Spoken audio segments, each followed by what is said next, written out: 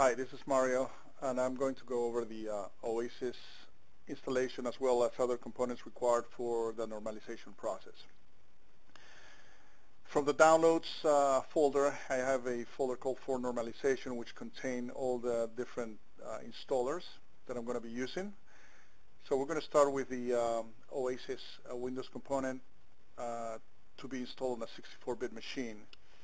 Uh, in the folder you'll find uh, the setup and the install OAS x64. So we double click on setup and we just follow the prompts of the uh, dialog box and uh, when it's completed we should see a message indicating it that it went through the whole installation process successfully. Uh, you will see a pop-up installing the database services, telnet server, uh, the RPC server, and the registry values that have been set click OK to the dialog box and press close uh, button and then you should be all set.